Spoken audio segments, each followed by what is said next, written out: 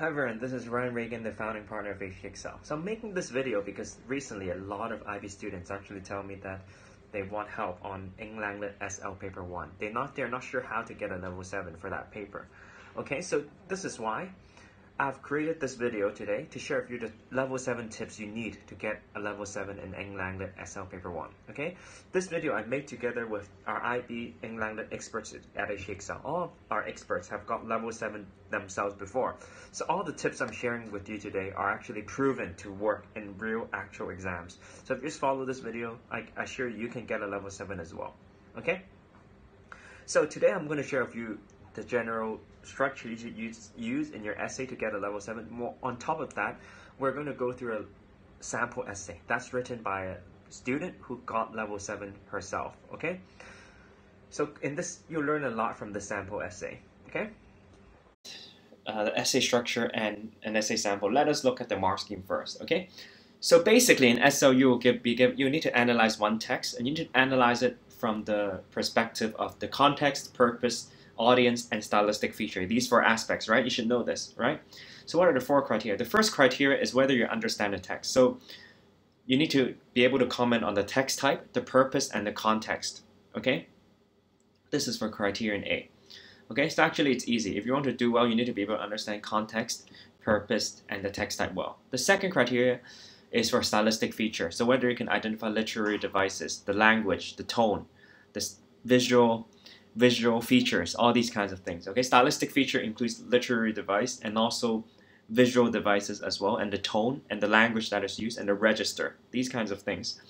Okay, later we'll go into more detail. So criterion C is how you write. So whether your your ideas are written in a way that uh, that is that makes logical sense. So you need to break down your paragraphs in in a logical manner. Okay. Actually, later when we before we go to the sample, we're going I'm going to show you a sample essay outline, and if you follow that outline, you should get very high marks for criterion C, because because your if you just follow the outline, your your essay will be structured in a very logical way. Okay. Next is use of language. So it's how will you write. Okay. Um, it doesn't. Ha- you don't have to write in very complicated words, but you just need to use the words accurately. Okay, to make sure that the language is appropriate, okay, for your essay. So now let's really look at the essay outline, okay? So we'll look at, um, so this essay outline is used by a lot of level 7 students, okay? So if you follow this outline, you, you dramatically increase your score and you, there's a very great chance you can get a 7. Okay, so let's look at this outline. Paragraph 1 should be an introduction, right? So what is what should be included in introduction? First, you should comment on the text type. So, for example, if it, let's say it's a blog post on a site for for skateboarding and enthusiasts, enthusiasts, right? You can say something like, "This text is published in in a website for for these skateboard fans," and then it is a blog post, something like that. Okay, so just comment on the text type where it is published. That sort of basic information. Okay, then you can one thing I want to bring to your attention is that um, you should, for purpose, actually there, you know that you need to comment on the purpose of a text, right? You need to know that there's primary purpose and secondary purpose. Primary purpose is on the surface level. What is the purpose of the text? Normally this is very easy to notice, okay? It's the primary purpose, the main purpose, okay? And it's very obvious. But there is also a secondary purpose, which is a deeper purpose that can only be discovered by by analyzing literary devices. So first you comment, you talk about what the primary purpose is. So you can say the primary purpose is blah blah blah blah blah.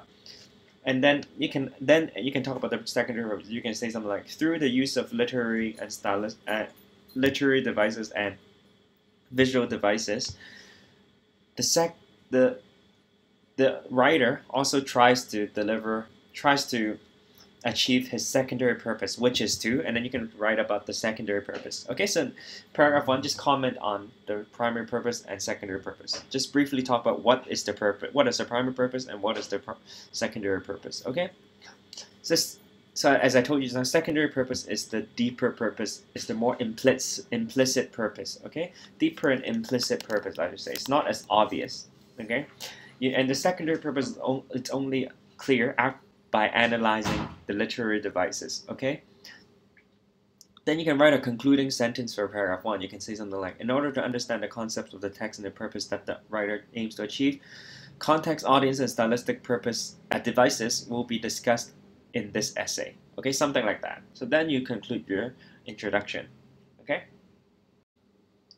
Okay, so before we go to the sample essay, let's look at let's continue to look at the outline. Okay, so second paragraph, you can focus on commenting on the context, audience, and primary purpose of the text. Okay, primary purpose is the obvious purpose. Okay, so first you comment on the context. Context refers, to, and you need to use reference to the article to back up your analysis on the context. Okay, and you should comment on how the context influenced the ideas that are conveyed in the in the writing. Okay, so context could be cultural context, the time that the that the article is set in. Is it a is it based on a modern story or is it based on a historic story, that sort of thing? Okay, and what culture is it set in? Okay. Number two, you can comment on the target audience. Talk about who do you think the author is trying to target with the essay.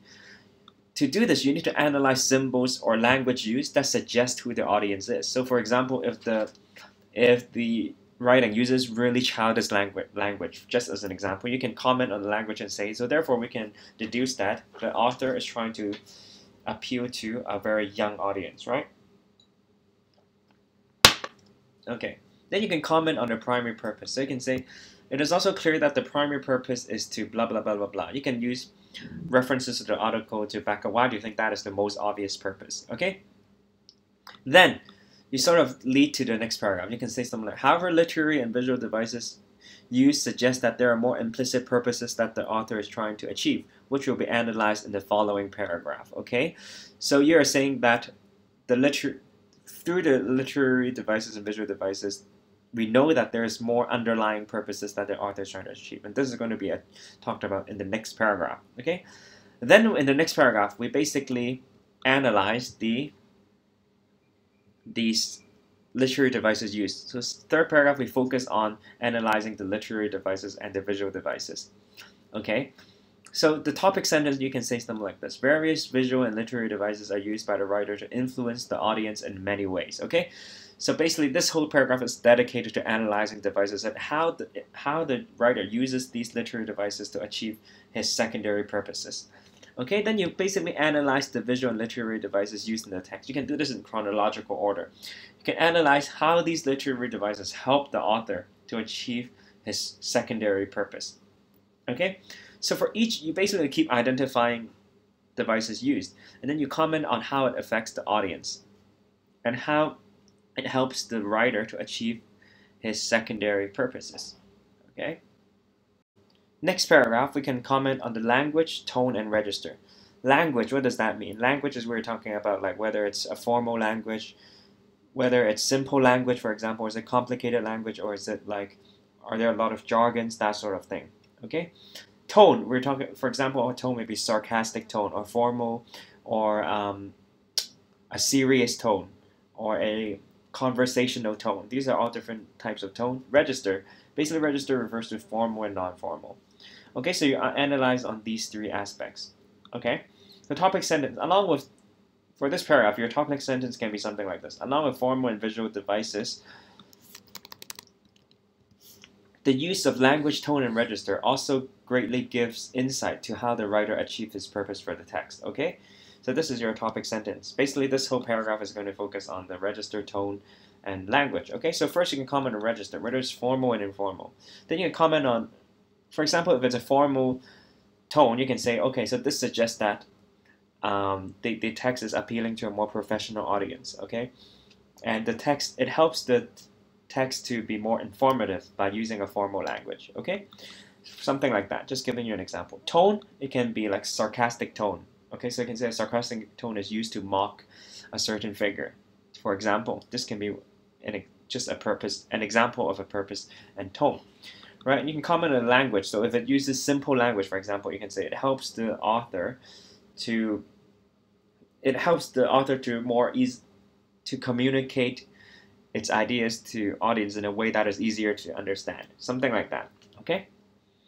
So this paragraph four, we will show in the sample essay you will see properly how it is done. Then in your conclusion, you just briefly summarize that the, that the stylistic devices, tone, register, and language used in the text helps the writer to achieve its purpose to the audience. Okay, so this is just like, you just need to briefly write this. Okay, later I'll show you how to conclude, but conclusion is generally not very important for marks. Okay, just need a conclusion to make your essay look like it's complete. Okay, basically you just need to summarize. You just need to conclude by saying that the stylistic devices, tone, and register language used in the text helps the writer to achieve its purpose. That's really all you, you really need to write. Okay, so next, let us move on to the sample essay. And we'll look at a paragraph at a time so you can see how a level 7 student writes. So now, let us look at the sample essay, okay, from the very first paragraph. So the first paragraph, as we, talked about just now in the outline, what do we do in the first paragraph? Comment on the text type right? So you can see how this person commented on text type. Text 2 is an article which was published in 2014 on a website called blah blah blah. The text itself is an article, but the majority of text 2 is made up of infographic along with the text part of the article. Plays a major role in helping the writer achieve his aims. Okay, so basically you can see how the the student who is writing here, this level 7 student is just commenting on the text type. Okay, so you can see the article is actually published on a website. Okay, it is an infographic together with a text, and the infographic plays a major role in helping the writer to achieve his aims. Okay, then as you can see in the outline just now, we need to comment on the primary and the secondary purpose, right? The primary and secondary purpose. Okay, so you can see how this student did this. In terms of the purpose of the text, it can be inferred through the many devices that this text aims to educate the target audience on the re-election process of ICC. So ICC is the International Criminal Court, judges which takes place termly every nine years. However, it should be noted that although this may be the primary purpose, okay, so now the student is transitioning to talk about the secondary purpose, because as I said, as I told you just now in the introduction, you talk briefly talk about the primary purpose and also the secondary purpose. So it says, however, it should be noted that although this may be the primary purpose, there are other aims of, the of this text which the writer tries to achieve, but by manipulating visual images in the form of cartoon and stylistic devices, right?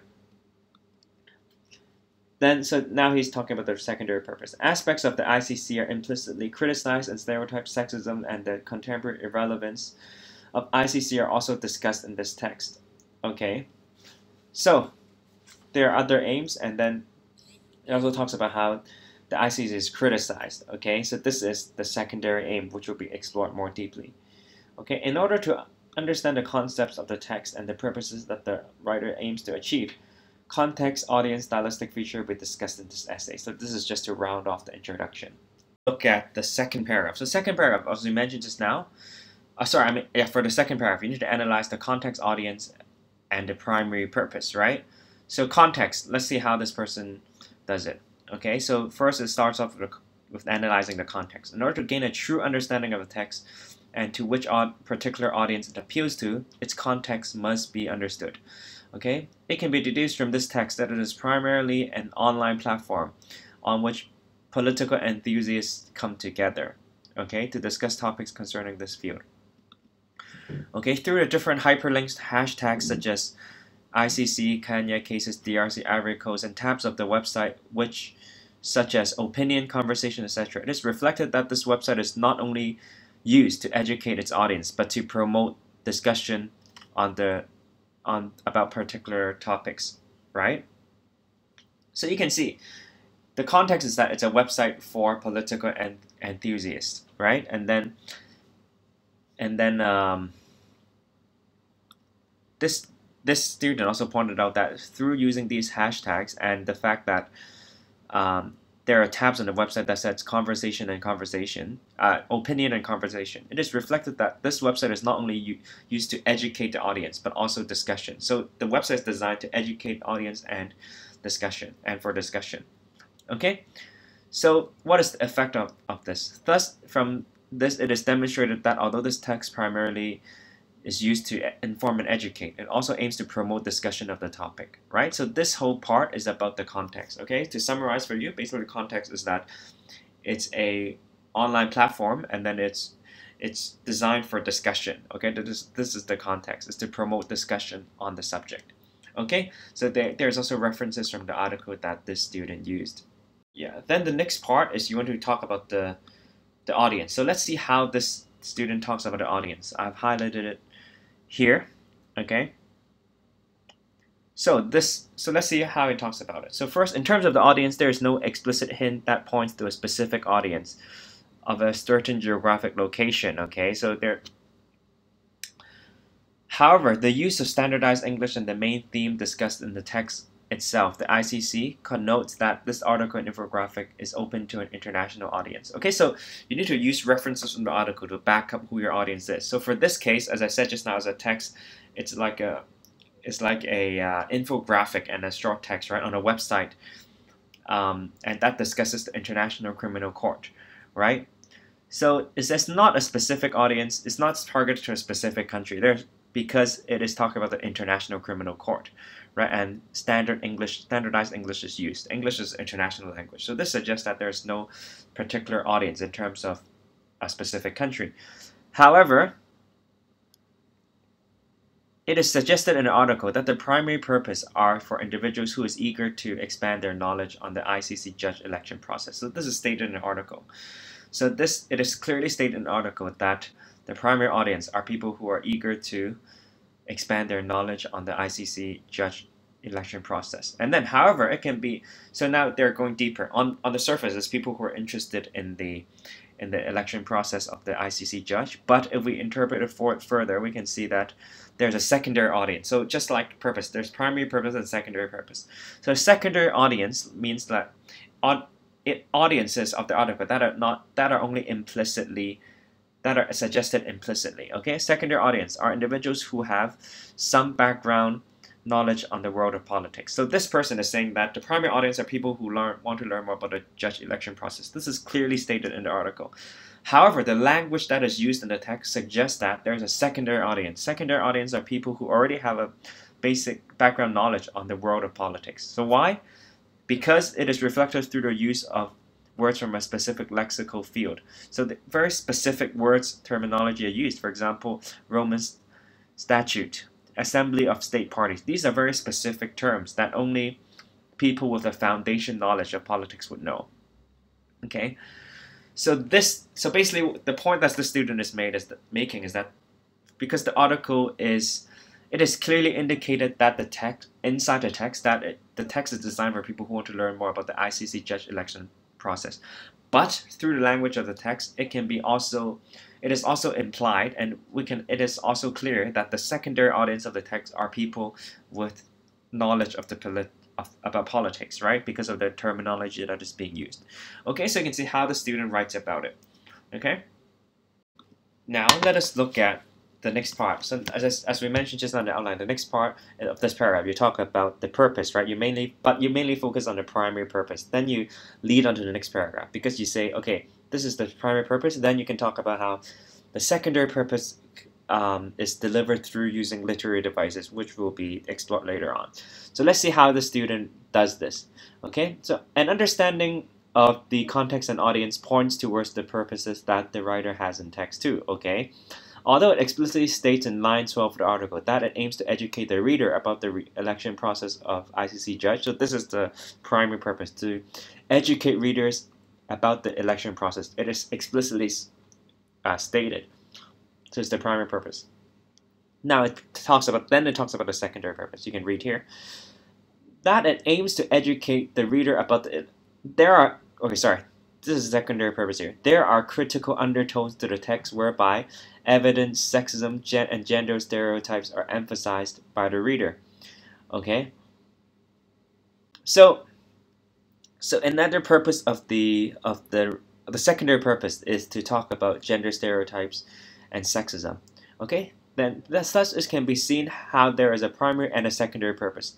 The primary purpose is made explicit, whereas the secondary purpose is more implicitly shown to the reader. How this is achieved is will be further explored on this on in this essay. Okay, so basically in, in, in this paragraph, he talks about like the primary purpose, then he talks about how the secondary purpose is made more subtly and more implicitly through literary devices, which will be looked at in this next paragraph, okay? Okay, now let us look at the uh, third paragraph. The third paragraph is about analyzing the stylistic feature. This should be the hardest paragraph to write. You really need to analyze the text and then analyze the devices that are used in the text and analyze how those devices used help the author to achieve different types of purposes, okay? But in more implicit purposes, right? So, uh, this sample essay we're looking at, by the way, is based. This is ans- This is an answer to um, to the May 17 paper one SL. May 17 time zone zero paper one. Okay, so just because of copyright reasons, we can't show the we can't show the uh, we can't show the paper here. But if you are interested, you can look at the paper yourself as I'm explaining how this essay to you. Okay, so basically in this essay, this level student, level student, level seven student, she basically analyzed the entire piece in a chronological order. Okay, it's very long. So in this video, I won't have time to go through every line with you, but I can look at we can look at some examples of how how this student analyzed the stylistic feature. So I highlighted this here. I think it's worth. It's, uh, I want to explain this to you. Okay, so let's read this together. Let's read how the student analyzed the stylistic device. Okay, so however, the hyperbolic image of the character brings a humorous humorous element to text to the text as in 1998 when the statute was adopted was not a time when people dressed as displayed by the character analyzed. Okay, so these people in the comic they're dressed up although it's not they're dressed up in very old-fashioned clothing the hyperbolic effect is further intensified through the images of the men in suits situated on the bottom of the frame, where their modern attire starkly contrasts the character with much larger and in a much more traditional clothing above them. Okay? This use of contrasting visual representations, there are some judges um, from the previous term who are wearing very old clothing and then there are people with modern clothing right? So this contrasting visual representation demonstrates how the reader manipulates visual image to achieve his purpose which is to educate the readers about the history of the ICC and how it operates using humor. So it's trying to state that um, the the ICC has been there for a long time and it helps to educate the reader about its history okay using these visual devices although I can't show you the paper, I can look at the comic strip I was talking about just now. So you can see the, the student was basically referring to to this this person who is dressed in very um, very traditional clothing and then here these are the modern people right so I, I guess the point here is that they're trying to show that the ICC has a very long tradition so as this student wrote we can go back to her essay it says the contrasting visual representation demonstrates how the writer manipulates visual images to achieve its purpose, which is to educate readers about the history, okay, to show that it's a very historical um, organization and it operates and using a hum humorous method. Okay, I guess I can show you another part of the cartoon which is in this in this text, okay? Just one part of the cartoon. So you can see this part is this elections are important because they add fresh blood to the ICC and that this is the judge blindfolded right? So let's see and then there's a blood here adding fresh blood to this judge. So let's see how the how the student writes about it. The image of the blindfolded woman holding the scale represents what the ICC stands for the, the impartial deliberation to, to, on the law. However this image paired with the text next to it which states elections are important because they add fresh blood to the ICC adds a comical tone to the text, okay? It's supposed to be funny. The literal representation of fresh blood, so you can see there was fresh blood just now, right? So the literal representation of fresh blood to the ICC through the blood being literally pumped into the woman demonstrates how the writer has manipulated visual images along with a simple sentence to indicate a need to shorten the re-election term of the ICC judge. So through the comic just now, basically the author is trying to convince the reader that the ICC actually needs fresh blood, and therefore the re-election term should be shortened. There shouldn't it, it shouldn't take so long to re-elect a new judge, right? So you can see how how the student is trying to analyze this picture right here inside the text. Okay, um, it basically the purpose is to, is to convince the reader that there should be a shorter election term. Okay, so this is one of the secondary purposes of the text, right? So with the two examples just now, I hope you sort of understand how how you should analyze the stylistic devices. It's a very long paragraph as you can see here, but as I explained to you the two examples just now, hopefully you get it, okay? And you can actually download this essay by filling in the form below. So you can just fill it in and we can send it to you. Okay? At the end of, so this whole paragraph is about stylistic devices. Then, as I mentioned to you just now, we move on to talk about the language, tone, and register. So let's look at this paragraph. Along with stylistic, formal, and visual devices, it should also be noted that throughout this text, the use of language, tone, re and register greatly gives insight to how the author achieves his purpose. Okay, so it talks about these these three things. Okay, first he talks about the register. The register is an informal register, and it's and uh, the the visual the visuals are designed to be humorous. Okay, so a sarcastic tone is is being used. Okay, so it's an informal register and a sarcastic tone is being used. Okay, so it's designed to engage the reader. So this is how this this is the impact. The humorous, the, the sarcastic tone and informal register is designed to engage the readers. Okay, and then the tone is also very conversational because these short forms are being used, these contractions are being used. It's an informal tone as well. So it's allowing the reader, the effect of this is allow the reader to easily follow the text, okay? And then also talks about the language, the simple language, simple syntax of the sentence, and then the text box allows the reader to easily follow the text and identify with the main themes, okay? So you can see how the student analyzed these. Uh, language, the tone, and the register. So language is simple, the tone is um, informal, and it's, sorry, it's sarcastic, and it's also conversational, and the register is informal. And the impact of this is that it engages the reader and makes it easier for the reader to follow, okay? Okay, so let's look at the conclusion. This is actually very simple. The conclusion, you just need to just briefly mention again the primary and the secondary purpose. Okay, so let's let's look at how the student conclude. In conclusion, it can be seen how the writer manipulates stylistic, form and visual and literary devices in order to evoke a certain response from readers. Okay, that's like that. You can write this kind of sentence in any response. From tone, factual evidences, and characters in the infographic, the writer not only educates the reader on the history of ICC and how it re-elects its judges, but it also proposes criticisms to the readers about the ICC and how a need of need for change is necessary for it to be compatible with modern society. So you can see how just this this the student just basically briefly reinstated re restated the primary and secondary purpose and also talk about how like by manipulating these devices, visual literary devices, it is designed to evoke a certain response. Again, and then this is the next she talks about the purpose. Okay, so this is the conclusion. Okay, so I really hope you find this lesson useful. As I said just now, if you want the free sample essay, please fill in the form below. If you have any questions, please feel free to leave a comment. If you have, if you think this video is awesome, leave a comment as well. Okay, so thanks a lot for your support and hope to see you next time.